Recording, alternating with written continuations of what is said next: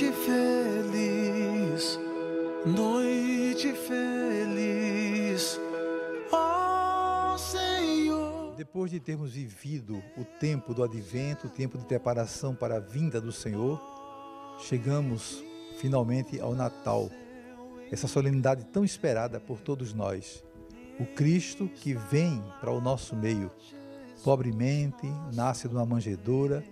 Quem recebe o primeiro anúncio são os pastores, pessoas simples, pessoas humildes, que se encarregam de comunicar a todos né, que o Cristo nasceu, que o Messias está presente no meio de nós. Então é esse compromisso com os pobres né, que nós devemos ter também, a exemplo de Jesus, que desde o primeiro momento de sua vida manifesta esse carinho, essa atenção especial para com os excluídos. Que o Natal, portanto, seja para cada um de nós cristãos a festa da solidariedade, do amor, da paz. Vamos transmitir essa alegria né, para todo mundo, sobretudo em um momento tão especial em que nós vivemos com tantas dificuldades de todas as ordens, que possamos comunicar ao mundo né, que a saída está em Jesus.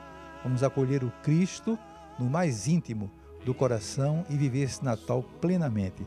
Desejo a todos, portanto, às famílias, aos nossos arquidiocesanos, um abençoado Natal, que de fato o amor esteja muito presente na nossa vida através da presença de Jesus no meio de nós.